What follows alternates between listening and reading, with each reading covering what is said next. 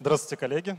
А, спасибо, что дали возможность здесь выступить. А, сегодня, в ближайшие 15 минут, я расскажу вам о том, как мы, а, как, зачем мы с нашими коллегами из инфосистемы JET делали коворкинг в «Газпром Нефтгео». В первую очередь для контекста хочу вам рассказать о том, чем занимается «Газпром Нефтгео». «Газпром Нефтгео» — это геологоразведочный подрядчик – который выполняет э, проекты по геологоразведке на всей территории России.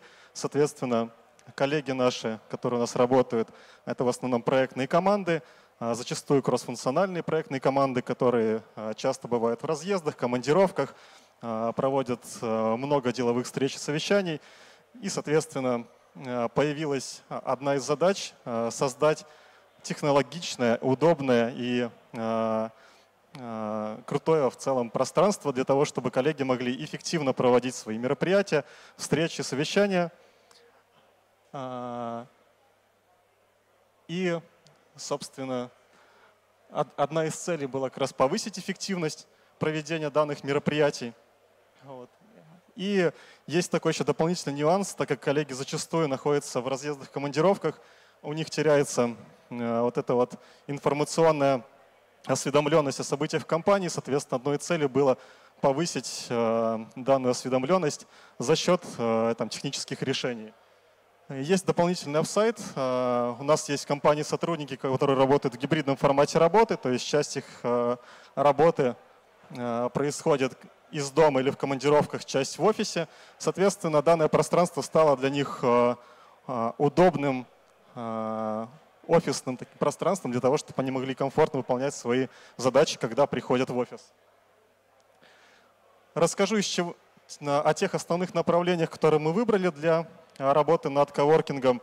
Э, в первую очередь это, собственно, инфраструктура рабочих мест, система бронирования этих самых рабочих мест, рабочее место сотрудника дома, ну или в командировке они не сильно отличаются друг от друга, система информирования о корпоративных мероприятиях и событиях, инструменты для совместной работы.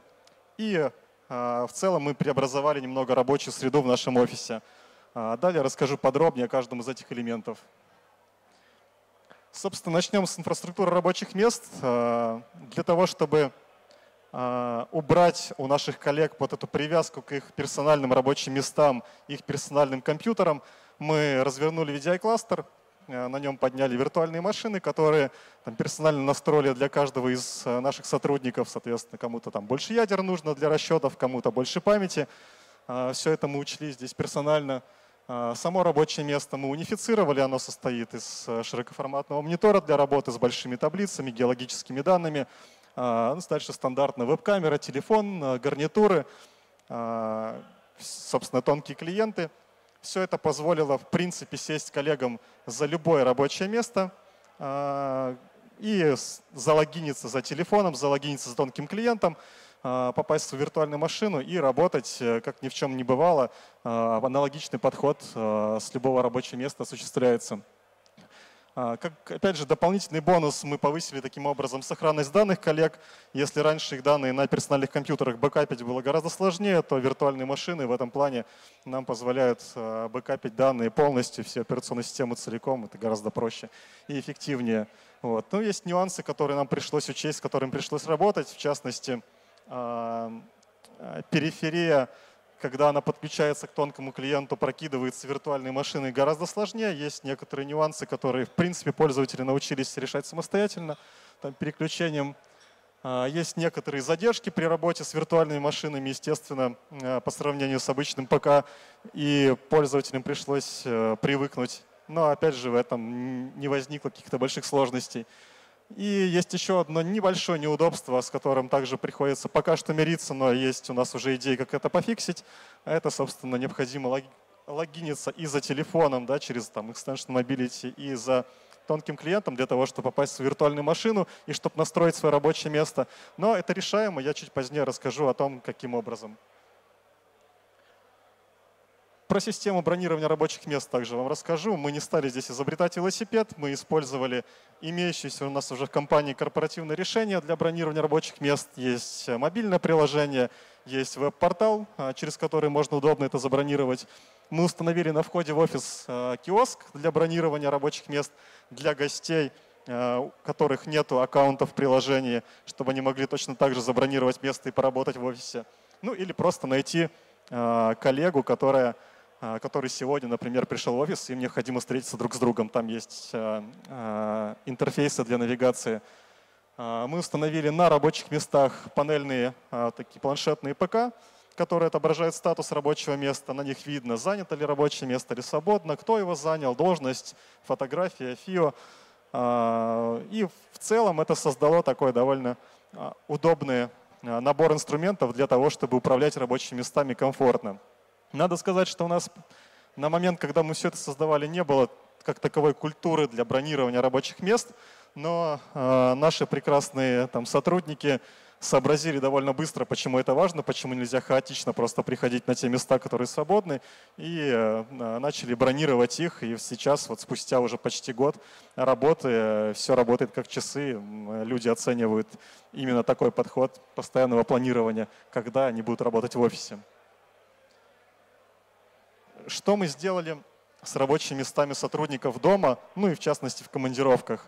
Естественно, всем выдали а, корпоративные ноутбуки. При необходимости можно запросить у нас монитор а, для работы там, с а, какими-то таблицами или там, другой информацией для удобства. Веб-камера, освещение, гарнитура, чтобы можно было проводить совещания практически так же эффективно, как и вживую, чтобы их видели э, хорошо. Ну и в целом это погружение в мероприятие происходит а, гораздо глубже, чем ежели а, без всего этого, всей этой периферии подключаться просто по телефону, например, или с гарнитурой. Здесь также стоит учесть то, что вам, естественно, необходима инфраструктура для безопасного удаленного подключения к вашим корпоративной среде. Необходимы дополнительные методы для учета IT-активов, чтобы потом не страдать на инвентаризации при поиске какой-то техники, которую вы передали коллегам. А, ну, естественно, а, многое зависит от качества интернет-соединения у сотрудников дома. А, эту часть, то есть каналы связи дома у сотрудников мы отдали полностью на откуп нашим коллегам. Они осознают то, что необходимо обеспечить качественный доступ в интернет самостоятельно. Вот. Но, тем не менее, да, это стоит учитывать в том числе. А, немного поговорю про те инструменты для совместной работы, которые мы а, сделали в офисе. Мы установили кабинки для переговоров, а, оснащенные Bring Your Own Message системами. Фактически в кабинках есть э, дисплеи, есть микрофонные блоки, веб-камеры широкоугольные и э, микрофоны. Вы можете прийти с вашим ноутбуком, с тем приложением для мероприятий, которое вам удобно, подключиться к этой системе и, собственно, провести полноценное совещание, как в переговорной комнате. Э, собственно, веб-камера охватывает полностью э, всю кабинку, и речь коллег также отлично слышна. В этих кабинках есть э, зарядки, беспроводные, проводные, там регулируется э, освещение в кабинках, уровень работы вентиляции. Ну и, собственно, эти кабинки очень востребованы, пользуются большой популярностью. Наверное, не то, что один из минусов, но то, что тоже стоит предусмотреть а, при организации подобных пространств. А, также установили интерактивные флипчарты, на которых коллеги могут собраться, порисовать, зафиксировать договоренности, разослать те результаты из зафиксированной договоренности по почте друг другу. При необходимости в этих флипчартах есть также веб-камеры, микрофонные блоки, динамики, с которых можно подключиться к совещанию. А, в моменте, когда возникает такая потребность, это, а, эти функции оказались крайне удобными и высоко оценены, в том числе и руководство нашей компании, когда это необходимо было для каких-то корпоративных мероприятий. Что еще сделали с рабочей средой в офисе? Мы решили попробовать установить систему маскировки звуков, так называемую sound систему, а, что она из себя представляет? Ну, по сути, контроллер, к которому последовательно подключены звуковые эмиттеры. Эмиттеры подвешиваются а, в потолочном пространстве и издают ну, что-то вроде белого шума, а, примерно с громкостью да, около 40 дБ, если верить документации. Есть у них шаг регулировки в пол дБ, либо в меньшую или большую сторону. И тут эффект на самом деле от них довольно субъективен, но мы оценили. То есть если представить, что вы находитесь посредине нашего open space, то вы в целом без этой системы отчетливо слышите, как коллеги общаются и о чем они общаются в начале open space, в конце open space. И это все, естественно, э, невольно э, э, тратит ресурсы вашего мозга на обработку данной информации. А при включении подобной системы мы перестали разбирать речь коллег, то есть шум какой-то слышен, он незначителен, он где-то на фоне. И по большому счету вы а, не сосредотачивайте ваше внимание на этой речи, вы просто продолжаете работать в нормальном режиме. При этом это никак не мешает общаться коллегам, которые находятся поблизости друг от друга. Вот, интересное довольно решение. А, ну, еще раз говорю, а, слух у всех разный, вещь субъективная, надо проверять в каждом отдельном случае. В нашем случае зашло. Плюс в том, что жалоб от коллег на вот этот вот белый шум, который появился, практически нет. И вообще в целом маскируется под систему вентиляции, которая есть в офисе. А, тоже довольно интересное решение. Есть у нас э, мысли о том, чтобы масштабировать это на весь офис в целом в компании. И так как система локальная, по большому счету не требует интеграции в корпоративные среды, то есть ее пуск-наладка ну, не вызывает каких-либо проблем. Также мы установили в офисе а, ячейки для хранения вещей – мы решили отказаться от какого-либо ключевого доступа, будь то электронные ключи или физические ключи, ну, чтобы не администрировать данную историю. Вов, пожалуй, все в порядке, никто не горит, отлично, продолжаем. А, собственно, а, да, ключи по-любому будут теряться, придется Э, дополнительные ресурсы тратить на то, чтобы менять потерянные ключи, сломанные. Мы решили оставить все без э, дополнительных э, дополнительного ключевого доступа. У нас офис в целом оснащен системами контроля доступа, никто посторонний не зайдет. Поэтому такое решение в нашем случае было полностью оправданным.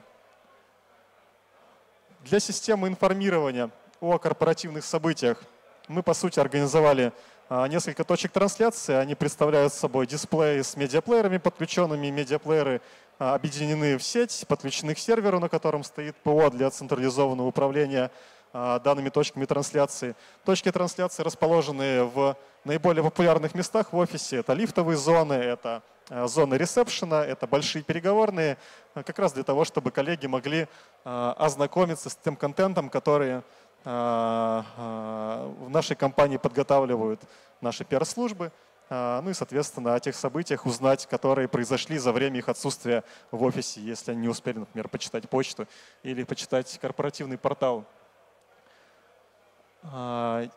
Есть некоторые вещи, которые спустя год нам уже понятно, что можно было сделать несколько иначе, но мы сейчас над их развитием работаем.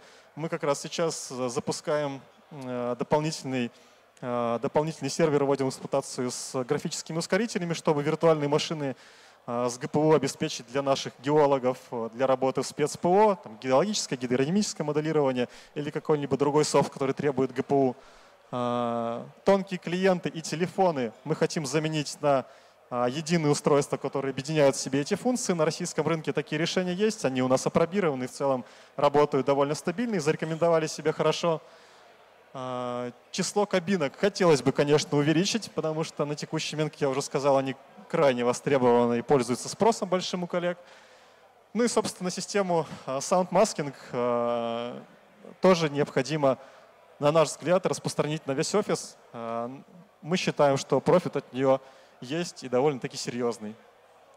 Если у вас есть желание посмотреть дополнительные материалы по поводу того, как мы создавали данный коворкинг, с комментариями наших коллег, с видео самих пространств. Можете перейти по ссылке. А, вас там ждет пятиминутное видео о том, как все это было. Вот. Э, еще раз спасибо, что а, дали возможность выступить. Если у вас будут вопросы, буду рад на них ответить. Спасибо. А, Виктор, спасибо тебе большое. Напоминаю, что за лучший вопрос вы получите жетон, который можно использовать для выигрыша мерча. А вот давайте начнем прямо по центру. Скажите, пожалуйста, каких вендоров вы использовали для тонких клиентов? Потому что мы пытались лет 10 внедрить э, подобную систему, но периферия отвратительно очень она прокидывалась. Вот. Что сейчас поменялось?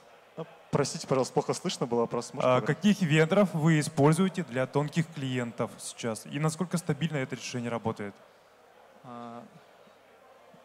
Смотрите, мы используем э, фактически мини-ПК э, с довольно-таки э, простой конфигурацией. Там i3 стоят, там небольшое количество оперативной памяти. Ну, то есть фактически это обычный ПК, который мы используем в качестве тонких клиентов. А, но, как я сказал уже, мы в перспективе хотим заменить это решение на а, такое универсальное решение, которое совмещает в себе и телефон, и тонкий клиент. Там а, в России такие решения, как я говорил, уже есть. Они, там Ubuntu стоит на них доработанное. Вот, соответственно, они работают с современными ATS, с определенными там, оговорками, но тем не менее это все доводится до ума и работает стабильно в целом. И вот это наше целевое решение, к которому мы идем. Если вы задумываетесь о создании подобных решений, я рекомендовал бы сразу смотреть именно вот на такие варианты. Значительно удобнее, то есть у вас фактически запускается это устройство, вы логинитесь, логин, пароль вводите и авторизуетесь одновременно и на АТС, и в вашей виртуальной машине, а, которая создана, а, ну, убирает значительное число операций, учитывая то, что коллеги в течение дня уходят, а, разлогиниваются, залогиниваются снова.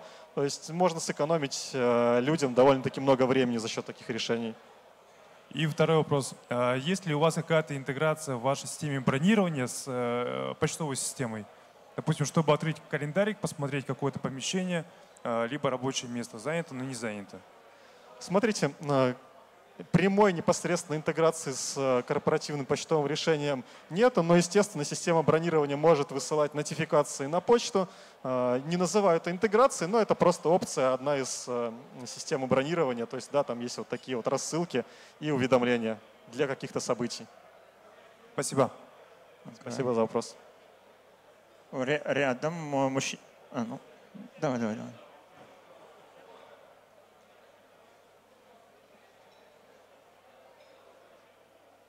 Здравствуйте, спасибо большое за выступление, было очень интересно. У меня вопрос больше бытовой. Скажите, пожалуйста, насколько сотрудникам было комфортно в том плане, что когда ты приходишь в офис, это больше не твое персональное рабочее место, это не твоя периферия, не твой стул.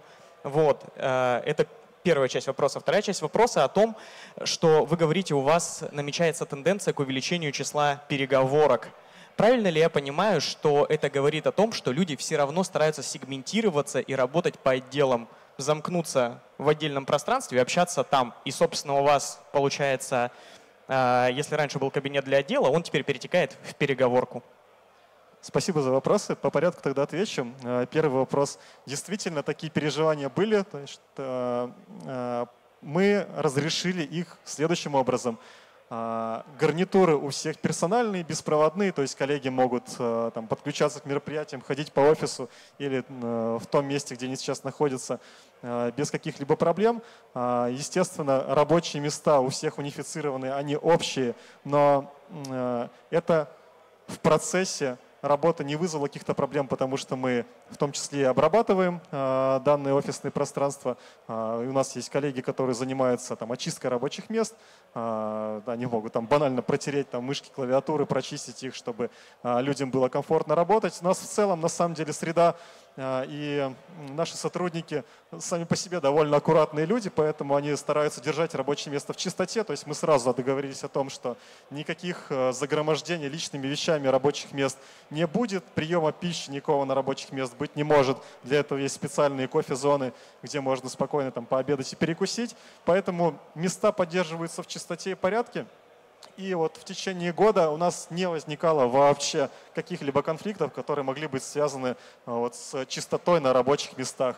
Плюс э, тут надо сказать, что несмотря на то, что мест рабочих вот таких вот гибридных у нас в офисе довольно много, люди все равно стараются занимать э, один-два рабочих места, ну, одно-два рабочих места конкретных, то есть они просто планируют свое рабочее время на несколько месяцев вперед для того, чтобы как раз обеспечить а, нахождение за вот одними и теми же рабочими местами, и лишь иногда, когда вот они ну, по какой-то причине заняты и недоступны им, они пересаживаются на другие места. В принципе, на общую концепцию это никак не влияет, и она соблюдается.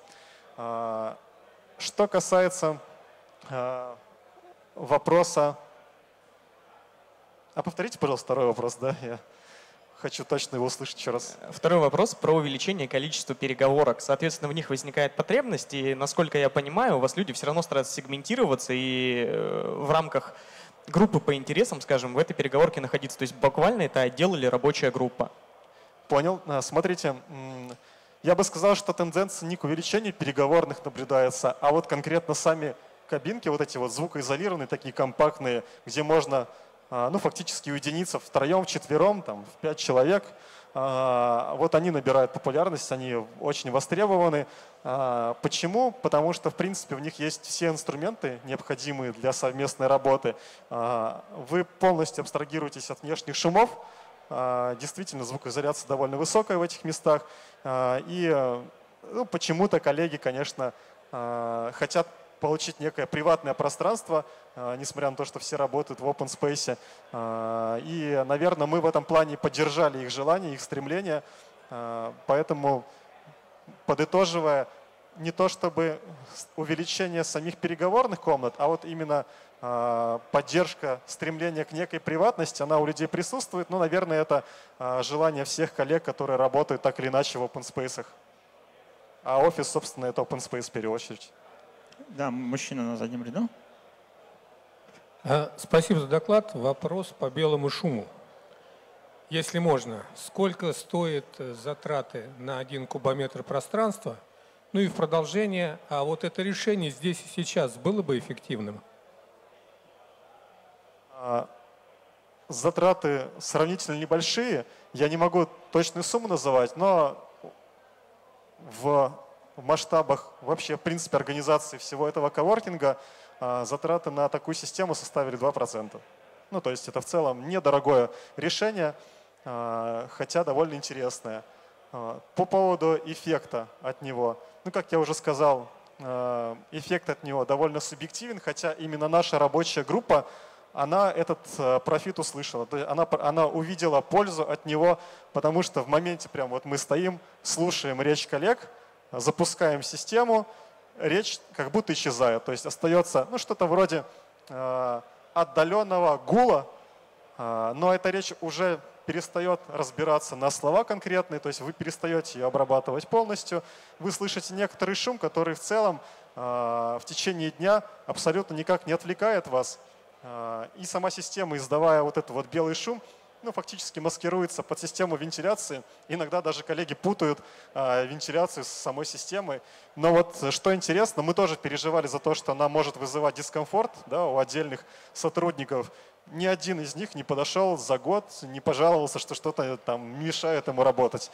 То есть мы считаем, что, так скажем, пилот вот этой системы у нас прошел успешно. Спасибо. Вот еще есть вопросы по центру зала, да. Спасибо за доклад. Тема достаточно актуальна. Такие коворкинги все больше и больше Чуть ближе развиваются. Микрофон. А, у меня два вопроса. Первый вопрос – это делали вы какой-то срез по сотрудникам? Кому это наиболее актуально? Линейным сотрудникам, тим-лидам, менеджерам, руководителям? И вторая часть – это почему пришли именно к технологии VDI? Казалось бы, раздать всем ноуты – это, да, дороже, но проще с точки зрения и учета, и там ВКС, и бэшных вопросов. То есть, ну, как бы, сильно удобней. А, давайте начну с конца. А, почему нельзя было просто раздать все ноутбуки? Потому что нужен доступ к корпоративной сети. Это определенные а, технические решения. Для этого нужны ноутбуки. Для этого в данном случае не вполне подходят. Плюс нужен доступ к различным корпоративным системам и решениям. И у нас была идея в том, чтобы коллеги могли в принципе сесть за любое рабочее место, даже если у них нет ничего абсолютно с собой, просто вот они решили, что сегодня нужно быть в офисе, с кем-то приехать встретиться. Для этого идеально подходит как раз ну, фактически набор тонкий клиент, да, и вся вот эта вот э, периферия, который, которую мы обсудили. Напомните, пожалуйста, первый вопрос у вас. Делали вы оценку, для кого это наиболее актуально? Да. Линейные, тем лиды, руководители, то есть кто пользуется сервисом? Конечно, собственно, изначально была идея создать такое пространство, как я уже говорил, именно для а, людей, которые работают в проектных командах, кроссфункциональных проектных командах, которые не всегда имеют возможность э, работать, грубо говоря, сгруппированно друг, друг рядом с другом из-за командировок, из-за постоянных разъездов. Соответственно, у нас э, большая часть сотрудников, которые вот на таком формате работают, это именно сотрудники проектных команд, которые занимаются геологоразведкой по всей России. А, соответственно, ну, сами понимаете, это постоянное перемещение по территории нашей большой страны. А, также, естественно, мы интересуемся у коллег, а желают ли они работать в принципе в таком пространстве. Если у них по каким-то причинам нет условий дома для того, чтобы работать э, в таком режиме, а, или есть еще какие-либо причины для того, чтобы а, этим пространством не пользоваться, а, мы, естественно, не настаиваем, да, и каждый работает так, как ему удобно. Мы учитываем все мнения наших коллег, и, но если при этом совпадают, так скажем, все факторы, Э, согласие руководителя, согласие самого сотрудника, э, его подходы к работе соответствуют э, тем принципам, которые заложены в таком формате, то он может спокойно начать работать в нем. Спасибо. Спасибо за вопросы. Виктор, тебе сейчас очень сложное задание предстоит. Нужно вспомнить все, что тебе задавали, и выбрать лучший вопрос. А, да, коллеги, на самом деле все вопросы замечательные, спасибо за них. Если бы можно было выбрать все, я бы, собственно, все и выбрал. Но тебе нужно а, выбрать. Я бы сказал, мне придется выбрать вопросы касаемо а, того, насколько вообще, в принципе, удобно коллегам работать вот в таком гибридном формате, когда периферия общая, когда рабочие места общие, когда у них нет а, собственного рабочего места. Это действительно был, был наш вопрос тоже, когда мы организовывали все эти пространства. Мы не знали, как поведут себя коллеги, поэтому мы там а, рабочими группами небольшими а, проверяли эти гипотезы. Вот. Но в конечном итоге все сошлось как следует. Спасибо. Поэтому я бы отдал Спасибо, спасибо, вопрос. Виктор. Спасибо всем, кто задавал вопросы. У вас еще будет шанс получить свой жетон. Напоминаю, у нас есть Telegram-бот, а, можно пройти по QR-коду, э, выполнить задание на стендах э, наших партнеров и в конце дня получить э, при подарок от нашего генерального партнера инфосистемы JET. А у нас, Виктор, спасибо тебе. Спасибо, коллеги.